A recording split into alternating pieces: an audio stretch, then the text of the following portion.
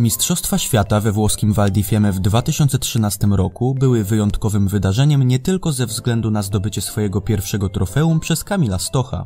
Swój pierwszy historyczny medal wywalczyła wtedy również w konkursie drużynowym reprezentacja Polski. Była to jedna z najbardziej emocjonujących drużynówek na Mistrzostwach Świata ostatnich lat. Nie tylko ze względu na czysto sportową, wyrównaną rywalizację, ale również inne niezwykłe wydarzenia, które towarzyszyły tym zawodom. Dzisiejszy odcinek poprowadzę razem z redaktorem naszego fanpage'a Ski Jumping TV i strony Flaszka dla Morgensterna Mateuszem Stów. Zapraszam do oglądania. Konkurs drużynowy na Mistrzostwach Świata w Val di Fiemme był zaplanowany na drugi dzień marca. Zdecydowanym faworytem do złota była reprezentacja Austrii. Natomiast kwestia pozostałych medali była bardzo niepewna, co zapowiadało interesujące zawody. Pierwszy skok dla reprezentacji Polski oddał Maciej Kot. Spisał się nieco poniżej oczekiwań, skacząc na odległość 123 metrów. Po pierwszej grupie Polska znalazła się na piątym miejscu. Do drugiej grupy został wyznaczony Piotr Żyła. Na jego drodze stanął wyjątkowo silny, tylny wiatr. Żyła poradził sobie z nim jednak całkiem nieźle, skacząc 122 metry. Polska drużyna utrzymała piątą pozycję. W trzeciej grupie na starcie stanął Dawid Kubacki. Dobry technicznie skok pozwolił odlecieć na odległość 126 metrów. Jednak przed ostatnią grupą Polska wciąż pozostawała na piątym miejscu. Zmienić tę sytuację mógł już tylko świeżo upieczony mistrz świata Kamil Stoch. W pierwszej konkursowej próbie wzniósł się na szczyt swoich umiejętności. Oddał fantastyczny skok na odległość 134 metrów, dzięki czemu znacząco przybliżył reprezentację Polski do czołowej trójki.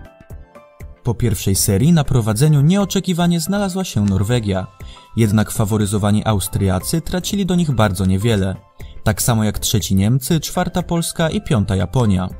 Pierwsza część zawodów była wyjątkowo wyrównana i każda reprezentacja z czołowej piątki miała tak naprawdę szansę nawet na zwycięstwo. Drugą kolejkę w wykonaniu Polaków rozpoczął Maciej Kot i tym razem spisał się znacznie lepiej. Skok na odległość 128,5 metra pozwolił na utrzymanie czwartej pozycji z wciąż ogromnymi szansami na podium. Kilka minut później na belce zasiadł Piotr Żyła, który również poprawił się względem pierwszej serii skacząc 126 metrów. Na sam koniec drugiej grupy miała miejsce niesamowita i pamiętna sytuacja, dzięki której Austriacy utrzymali szansę na złoty medal.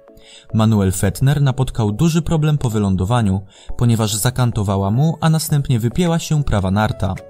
Austriak utrzymał jednak równowagę aż do linii sędziowskiej, dzięki czemu otrzymał dobre noty za styl. Po drugiej grupie i dobrym skoku żyły Polska znalazła się w końcu na medalowej trzeciej pozycji. W przedostatniej grupie Polskę reprezentował Dawid Kubacki.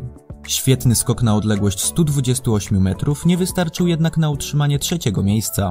Reprezentanci pozostałych nacji spisali się jeszcze lepiej, a Polska znalazła się na miejscu czwartym z minimalnymi stratami do podium, a nawet do drugiego miejsca.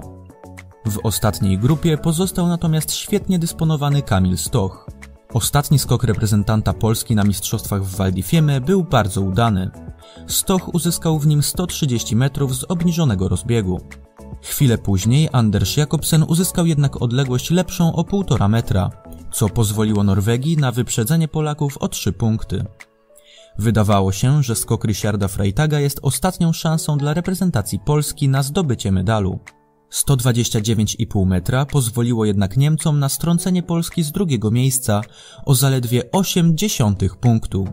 Gregor Schlierenzauer swoją finałową próbą postawił jedynie kropkę nad i, a reprezentacja Austrii zdobyła mistrzowski tytuł z przewagą niemal 15 punktów.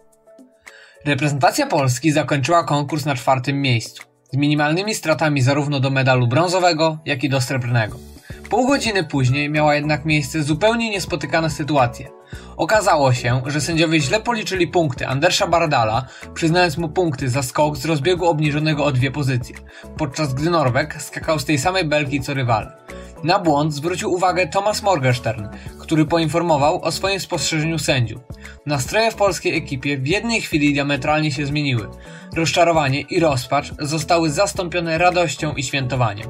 Polska reprezentacja w skokach narciarskich po raz pierwszy w historii sięgnęła po medal zawodów rangi mistrzowskiej.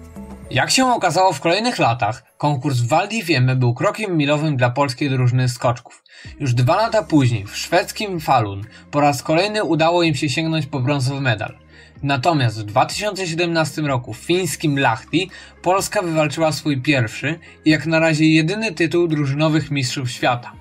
Rok później reprezentacja ta sięgnęła również po premierowe krążki na Mistrzostwach Świata w lotach narciarskich w Oberstdorfie oraz na Igrzyskach Olimpijskich w Pjongczang. W obu przypadkach zdobywając brąz. Już od wielu lat reprezentacja Polski regularnie walczy o sukcesy drużynowe co przed słynnym konkursem w Val di Fiemme było zazwyczaj nie do pomyślenia. Zawody te z pewnością będziemy wspominać nie tylko jako bardzo emocjonującą i wyrównaną sportową rywalizację, ale również jako swego rodzaju przełamanie reprezentacji Polski w walce o drużynowe trofea. A jak wy wspominacie konkurs drużynowy na Mistrzostwach Świata w Val di Fiemme? Swoją opinią możecie podzielić się w komentarzu. Tymczasem dziękuję za obejrzenie naszego filmu i zapraszam do oglądania następnych. Zachęcam również do zostawienia łapki w górę i zasubskrybowania mojego kanału, jeżeli jeszcze tego nie robisz. A na razie, do usłyszenia.